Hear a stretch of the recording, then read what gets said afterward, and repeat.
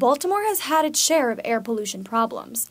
We need more renewable energy in the city. But it's taking a step in the right direction. People are suffering from the dirty sources of energy that we use, and to replace it with clean, renewable energy like solar is what we need to be doing, and we're on that path right now. According to the Shining Cities report conducted by Environment America, Baltimore ranks among the top 50 cities in the nation for total solar panels. Environmental advocates from all over the region are praising the city for its efforts.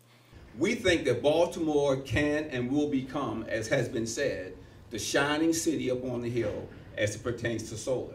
And we are glad that we made a commitment almost 10 years ago to be a part of that. Environment Maryland is looking to Baltimore City Council for help in moving solar power forward in the city.